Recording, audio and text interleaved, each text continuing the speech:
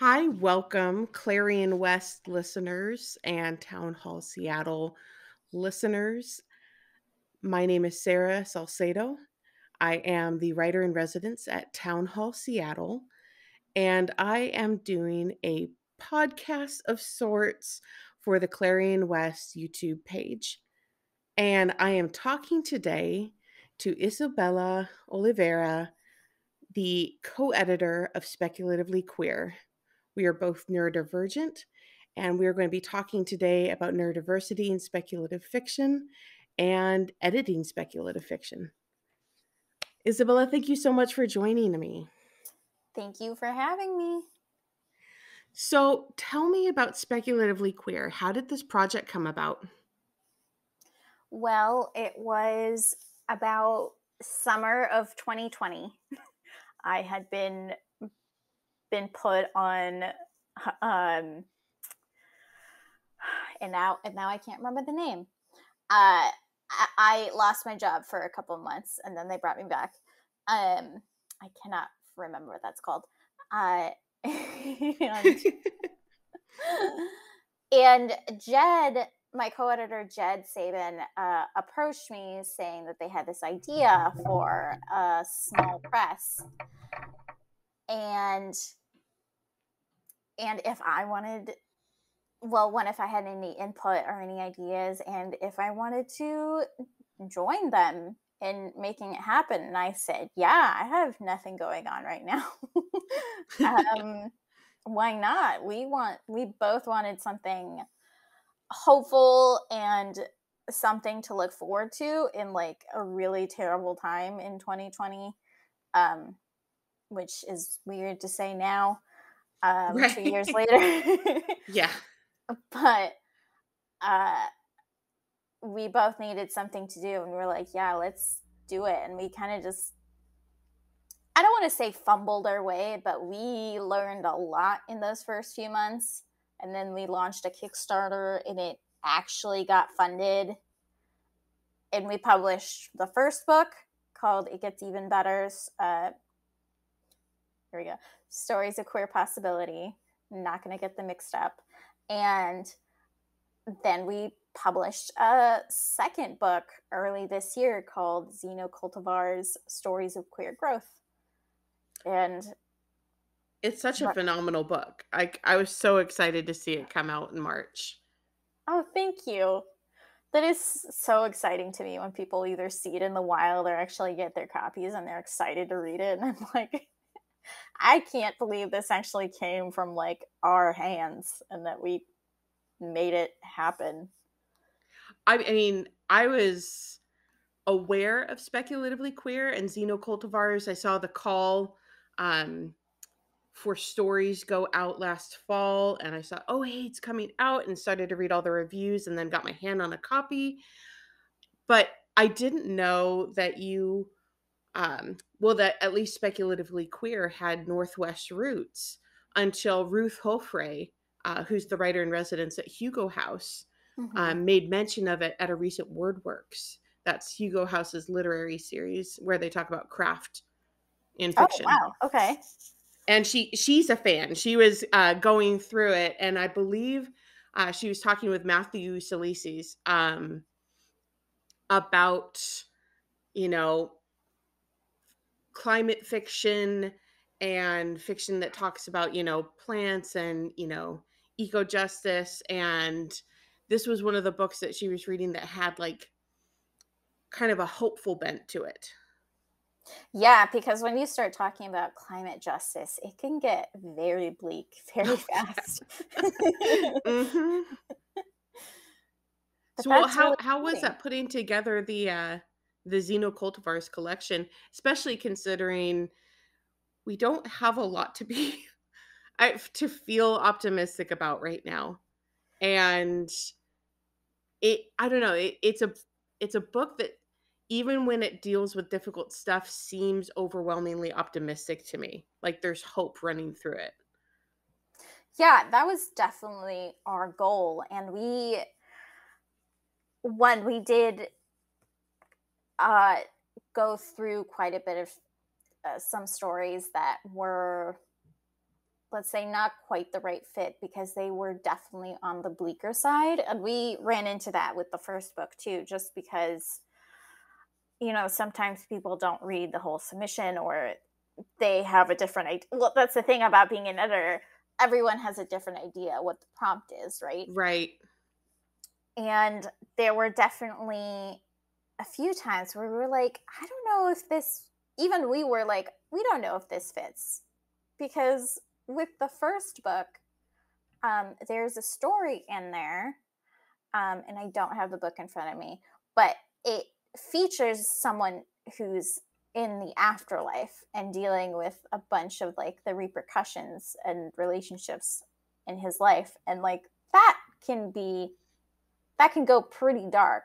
Right but even so th- like at the end of it I feel like the reader has a very hopeful feeling and it's not you're excited for that character to to keep going and it's not like a deep depressing no that's my jam know? that is my jam that's that's you know the the blink episode of doctor who where she says sad is a deep person's happy that's my i love yeah. that stuff yeah, yeah, it it goes down a bit into the trenches, but it also comes back out and you're not you're not filled with despair. And I feel like that was that was our goal cuz we uh, some of the stories like kind of dive into that territory, but you're not you're not depressed at the end of it. At least that's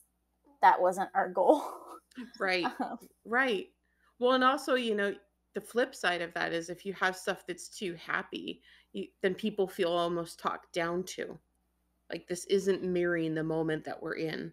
Exactly, because we wanted to have we wanted to be hopeful but still representative of the the queer experience and right it it definitely isn't like a few people's queer experiences i feel like all sunshine and rainbows. Yeah. And there's it's, some heavy topics for sure that can come up. Well what what's it like? How how do you and jed work together when you're putting together a call like this? Well we split up uh, a lot of the duties but we both when it came to, to reading submissions we both tried to read most everything just because our tastes align in a lot of cases, but they also diverge in a few. And we both have things that we both don't like to read. We yeah. both have like if, just a few triggers and things that were just like, uh, this is a hard no. We don't want anything like this. Um, and so those stories kind of went to the other person to kind of figure out what to do with, even though they were pretty much like if one of us can't read something, it was probably never going to be go in the book. But we wanted to give everything a fair shot. Right, just in case one of you found something and you could really, really advocate and just right, or maybe you have you know, to see it this way.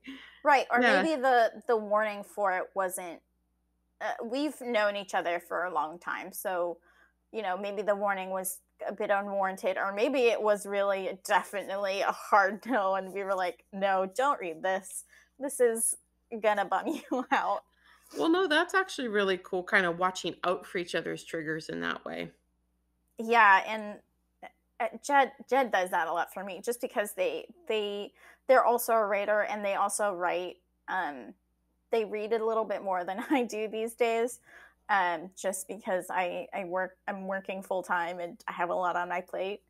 Um, but they definitely have a good sense of my taste. So I, I think that's partly why we wanted something that was I I think if speculatively queer didn't have that hopeful tint like trend to it, it we uh, like this probably wouldn't have happened just because I yeah. that was my taste even before the pandemic. Yeah. It was just like I I'm I've went through my teens, I went through my 20s. I'm a little bit done with the incredibly depressing, angsty stuff. I need some happiness in my life. Yeah. Well, and I think that's what was so refreshing and exciting um, about Xenocultivars as a call was just I remember seeing it and getting excited. I didn't have any plant fiction to send y'all at the time, but I was so excited to read it when I saw it because I was like, wow, that just sounds like a call that I'm going to want to read that anthology. Like, that's it's good advertising when you're calling out for stories, but you're also getting the community excited about the work. yeah, and it was, I gotta say, like 95% Jed's idea, even though they were admittedly not really a plant person um, before all this happened. Mm-hmm. When we were when we started working on this last summer, then they finally started like getting into their garden. And I had been I had started keeping plants like years ago. So that's what kind of like brought them into it. And they were like, oh shoot, I like this stuff. and well, what, I think that resonates. What resonates now for you? Uh, now that you're on the other side of this, are are plants like a trigger of oh my gosh, I just did this big anthology, and you know I don't want to look at plants, or is it like something that's still like deeply resonant with like your personal self care practice? Oh, for me, it's definitely a self care thing, just because I've lived alone for the past couple years, and it's it's I feel like taking care of plants reminds me to take care of myself as kind of schmaltzy as that is. No, no, definitely. um and it's very meditative meditative. Um it's one of those things that I can do and I can turn parts of my brain off and just it's it's like a meditation but having something to do. It's a lot like um, crochet and a lot of other fiber arts for me where I can have something to do with my hands, but my brain can relax a little bit. Yeah. Which yeah. I think is important, especially for neurodivergent people. Especially for neurodivergent people. Like, I had no idea. I was diagnosed with ADHD when I was 18, but it wasn't until my early 30s that I um, completed the picture with my autism diagnosis. And I was like, oh my God, that's why. you know, that's the other half that's missing. And I had no idea what stims were, even mm-hmm. though I mm-hmm. was doing them all the time, even though I needed to be tactilely like going through a meditative thing. I had this uh, metal ball and chain necklace that I got probably at Hot Topic or something mm-hmm. like that, that I wore in high school. And I would take it off and uh, pass it through my fingers like rosary beads in class. And I had no idea why I had that nervous tick, but now I was just like, oh, okay, it's stimming. And it's so wonderful when you realize you're neurodivergent because you can put more focus into those tactile things that calm you down, or like you said, allow your brain to shut off. Yeah. Whereas before it was like, oh my gosh, I hope no one notices that I do this all the time. Now it's like, no, I do this all the time. I need to do this all the time this is how I thrive. It definitely clicked for me because oh, it was a few years ago when a friend of mine who's also autistic approached me and was like, Hey, have you ever considered that maybe you're autistic? And I was like, What? I've never, like, I was always a weird kid, but yeah. like, I, I would be reading books alone by myself during recess like mm-hmm. in a mm-hmm. corner somewhere kind of kid. And yet no one and if they did, no one ever told me about it. Like I wonder if like some teachers suspected things but never actually like did anything about it. Because yeah. thinking back, I was like, "Oh, I was the classic classic right autistic kid." Just z- like focused, so focused on like one thing well, and, and I, yeah, go ahead. Sorry, go ahead. Oh, sorry. I was just like that. I I don't think other kids ever like focus that hard on things, and that was me like almost all of the time, or I was just daydreaming somewhere. Oh, so much with the daydreaming. well, and and that's that becomes such a wonderful portal into storytelling and reading and you know, I'm sure editing um because yes, literally what your brain is doing to you all the time. Um I, I was talking to somebody the other day who was afraid that they would be co-opting.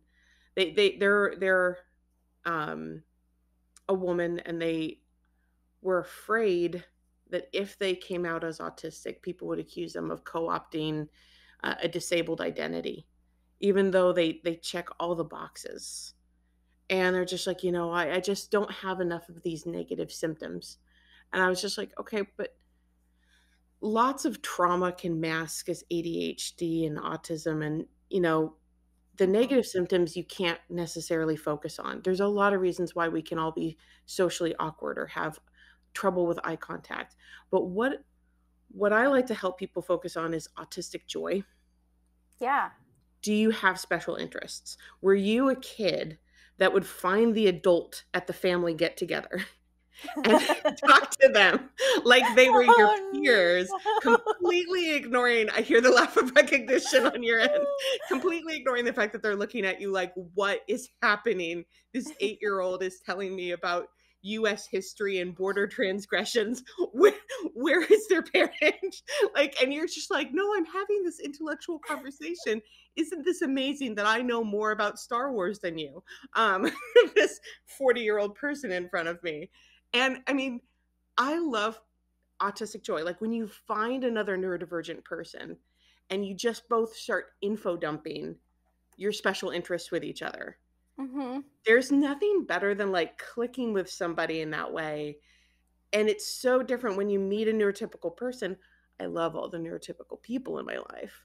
But when you meet another neurodivergent person and you're just like, oh my gosh, I love trains. Here's all the facts about trains. Well, I love trees. Do you know that aspens are like a network and they communicate underground with each other? And you're like, oh my gosh, I didn't. Let's talk about mushrooms now. and all of a sudden, like four hours have passed because you both have time blindness and you're having just a ball, but you're both dehydrated because you've been talking nonstop for four hours. Literally, you're just describing the con- like half of the evenings my girlfriend and I do because we're both like trying to get to bed, and yet one of us keeps like info dumping, and then we like lead each other down like a rabbit hole of some topic, and then it's four literally four hours later, and we're both like, I think we're hungry. We need to eat something. I love that. I and it's actually 2 a.m. and we should eat something and then maybe go to bed or else we're going to be at this all night. There is no joy like neurodivergent couples. And yet it's like always amazing when we manage to feed ourselves or clean the house or do like simple tasks like other couples that like can balance the checkbook and do laundry and feed themselves.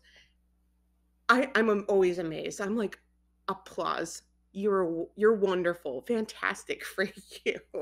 Well my partner and i it's just it's an accomplishment when we can uh, you know get those things because we'll just start talking and then it will be 1 a.m and we're like well we're not going to bed early tonight. Yeah that that's my my relationship in like a nutshell. It's just what figuring out what tasks I can take care of and what she can take care of and how they complement each other. Right. And if not, then how the heck do we make sure we like stay fed and do the laundry? yeah, I'm I'm so lucky. I I like to cook. He likes to clean. so we do manage our, our way through certain things, but other other things it's just like, well, we'll get to it eventually.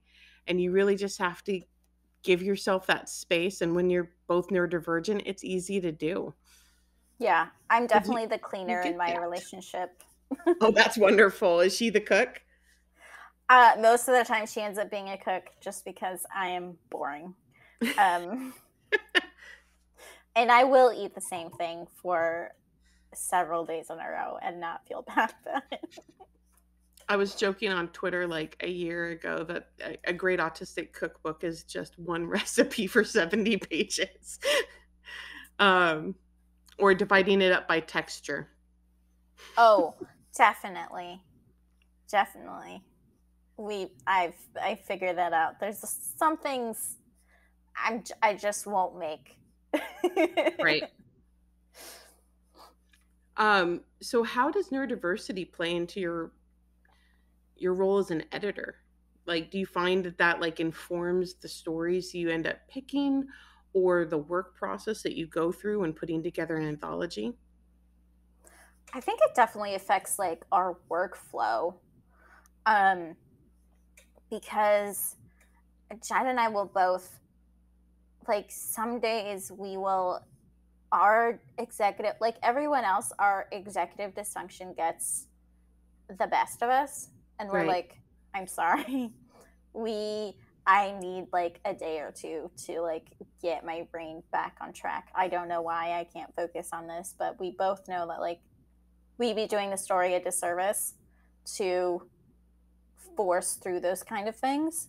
Yeah because i think every neurodivergent person eventually figures out that like you need to accept the ebbs and flows of like how your brain works Yes. And when the hyper focus fix uh, like hits, like then uh, go for it. Like do 12 hours of editing in a day as long as you're taking care of yourself. Of course, Remember to drink that water. um but yeah, sometimes sometimes your brain won't like latch on to what you need to do and I I do enough of that in my day job because I also edit um, for my day job and like I do enough like pushing through because I need to um, because I'm paid for it. Right. But this is our passion project, so we have a little bit more grace built in, I think, to the process. Or you know, we'll if one of us has trouble doing something, like I am not, I and we just got done with our taxes. Um, I am not the uh, the money person in our editing relationship, and J- Jed can can handle the spreadsheets, and I'm like, I can't build. I'm I'm a bad neurodivergent queer. I cannot make a spreadsheet to save my life. yeah, I will make like lists in my notes app and my yes. partner's just like give it to me in the spreadsheet no i cannot do that like i can't see it if i put it in a grid i don't know why i need to see it like free form like you know free range chickens or something like that where the numbers just don't make sense i'm a great numbers person but they have to be and that's my adhd side they have to be weird and free ranging yeah yeah, I like I need a visual component and spreadsheets mm-hmm. are just like if you like poured out a bunch of characters into a thing and it just doesn't make any cohesive sense and I'm like, I don't know what I'm looking at. well, that's great that you guys have such a partnership where you're able to divide that work and kind of carry each other when someone's got executive dysfunction and the other person can step in and vice versa. I'm curious, how long have you been an editor?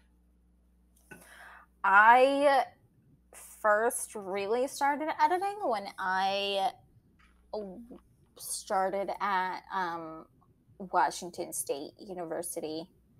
So I went to community college first, and then I did my last two years at State University um, here in Vancouver. Yeah. And my friend at the time was working on the literary journal and she was like, Do you want a job? And I was like, Sure. she because she knew she knew we had been friends for a long time. We've been friends since we were like 15. And we're both like in our 30s now. Um and she knew that I really loved well just words and I always had my head in a book. And did I like and I thought working on a literary journal because a literary journal is a little bit like putting a book together, mm-hmm. just a little bit more diverse and a little bit shorter. and the literary journal we worked on had a bigger budget, I will say. Um, uh, thank you, state funding. But yeah, that's where I got started, and, and just working together with some people and trying to figure out like a theme and what our tastes were and what we were going for really worked for me. Um, That's so cool. Especially the fiddly parts of like doing layout and like making a design. That's also where I kind of started realizing that I do like design, even though I'm I'm not really a designer, but I have a visual eye for things. Mm-hmm which also comes in handy uh, when you own a business oh, and you sure. have to do everything yourself. so, what made you fall in love with editing where it's like, okay, this isn't just a little thing that I'm going to do while I'm in my college town, but this is like, this is a path I'm pursuing. What really clicked in there for you? Well, I was uh, pursuing an English degree and the parts that I really enjoyed weren't like the the discussion of like classics and stuff. Mm-hmm. One, I never clicked with the classics. It's full of dead white guys, um, and I am none of those things. um, but I really enjoyed like the fiddly parts of like especially when I started taking technical writing and I mm. learned like what makes writing good. Yeah. like on like a very minute level. I was like, "Oh, I'm actually good at this because I can this is the part that every like neurotypical brains gloss over." Right. Cuz they don't want to pay attention to the details. They're just like well, it's easy for them. It comes so naturally. Yeah. It's hard for them to put it into words, whereas we have to take the long way around, which makes us actually really good at grasping the fundamentals. Yes, exactly. And I'm also English isn't my first language. I uh, my first language is Portuguese. So I learned English by like the skin of my teeth because I I had I also did that the very long roundabout way. Yeah. Um in school because everyone had already been like, "Well, we don't know why we did it this way. We just do." And I'm like, "But why?" but why? Yeah. An autistic's favorite question. but why? I'm like, "I need to know how it works." Mm-hmm. Please explain. Oh uh, yeah, I can't, I can't imagine coming from someone who it's not your your first language and you're autistic. So again, for for those listeners who are tuning in who are not autistic, but why is the autistic's favorite question? Um, be, not just because we we want to be rule focused and black and white. I mean, I think a lot of us are actually pretty good at expanding our thinking beyond that. But we also, like we said, love info dumping. Mm-hmm. We love learning about the mechanics of things. I get excited when I have something new. I know some people, when they're like, oh, I don't know something, and they'll feel shame. They'll feel like immediate embarrassment that there's this knowledge gap. And I get so excited when there's something I don't know. I only get ever get frustrated if like you're saying it's not being explained well right but a chance to learn a new thing and learn it inside out take it apart and put it back together again that's so exciting and pretty much every autistic person i've ever met goes at new subjects that way. We we like to start from the inside and then work our way out. Exactly. And i think that's always clicked with my brain. Hmm. Um, I could see why that would make you a really good editor. Yeah, I it it it's always been it's never really been a slog for me like I think it would be for a lot of other people. Hmm. Um, even when it's, you know, late at night and I'm trying to hunt down all the the curly quotes and change them into straight quotes when we're doing layout or something like that. yeah, yeah. um you know, or checking the story for the 20th or 30th time. It it can get repetitive, but it yeah, it's like it's like the for me like crochet like yeah, it can be repetitive, but it it just fits. That's wonderful. Now, I wanted to ask you a kind of broader um what what do you see obviously queer fiction has an amazing home in speculative literature and i think um, jason sanford um, the author was just tweeting about this the other day and he was quoting somebody else so i'm not attributing it to him but i had never heard it that we're in a rainbow age of Mhm. fiction and i Mhm. loved i loved that because you know speculative fiction is where we can imagine ways in which our world or worlds can be better Yeah. than they are or we can challenge existing biases without having to trigger ourselves by writing about the thing itself we can kind of write it slant Mhm. and talk about prejudice and bias and trauma without having to excavate our hearts and our souls the same way that we would if we were writing literary fiction. Not, I hate that term. Speculative fiction is literary fiction in my book. Um, but you know, if we were writing mainstream real life stuff, there's there's just this beauty in a way that queer fiction works within the speculative genre. And I think, I honestly think we are tempting a lot of people away from mainstream uh, literary conventions into speculative because of all the different opportunities that it offers. And I just wanted you to talk about what what do you see speculatively queer in its either current function or where you and Jed want to take it in the future. Um, just eh, share your thoughts with us about speculative fiction and you know queer fiction. Yeah. I think at its heart, why the two work together so well is that s- speculative fiction has always been, you know, in in the best way where the weirdos are. yeah. Yep. It's where the people who don't fit in, the people who you know, the the neurodivergent people, the queer people, the disabled people, that's that's their home. Mm. That's where you can embrace those topics that, you know, more mainstream stuff shies away from. And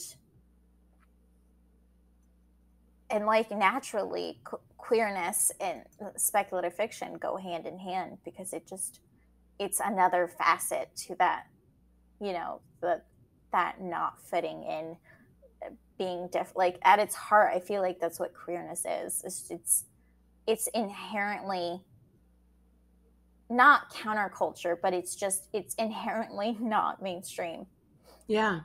um it's bucking against the trends uh, standing out in the crowd kind of stuff and i i feel like i feel like mainstream queer fiction is not to not to you know disparage it or anything but i feel like if you try to mainstream queer fiction, you you get something that's very sanitized and very, you know, for the masses kind of stuff. And that's not that's nowhere near where Jed and I want it to be. Like we Yeah. want we want the weird, the wonderful, the the wild kind of stuff. And I think Jed kind of touched on this in the intro that they wrote to Xenocultivars. Like, we want the wild, the wildness of it all. Yeah. Well, I think you guys are certainly succeeding. Thank you, and that that means so much because it it's. I don't think either of us imagined it going where where it's going now. Um, and I have no idea. I honestly we we haven't announced anything more, but I'm so excited to see what we come up with next because the the reaction to like Xenocultivars has been so wonderful and it's drawn so many people like out of the woodwork. Like yeah. people people who are like yeah, I didn't have anything, but I just wrote this like out of the blue because I was inspired by the prompt and I was like, what? You didn't just submit something you already had, you wrote something for this. That's incredible. That's that's like the highest compliment you you could pay us, I feel like. There's and, a lot of art that exists because of this call. That's that's tremendous. And it's got to feel kind of surreal at times too, I get. Oh, definitely. Especially when we were talking about people talking about our work and mentioning speculatively queer, and I'm like, what? That's not. this is just something Jed and I have been working on like during our weeknights. What are you talking about? Yeah, people are talking about your hobby. It's so weird. no, I get um, that. I get that. It's definitely surreal. I will I will say but yeah, I don't know where to, to where that thought was going, but yeah, I I don't know. I keep I want to keep publishing weird stuff. well, I think I, I really think that you've you've got a huge avid fan base that like I mean, I know that you know, it gets even better was was great, but Xenocultivar is just like I did hear about it from like everywhere. Like March, it was just like everyone's talking about this, and I was so happy for you all. Um. So yeah, I mean, you said you that you don't know any, you know, you don't have any plans for the next thing, so I won't ask you that. I'm scratching that off mentally off my list. Um. But I'd say probably what what's exciting you right now outside of speculatively queer? Like is there any trend in spec fic that's really appealing to you or is there a book or like journal that you've been reading that just excites you with its existence?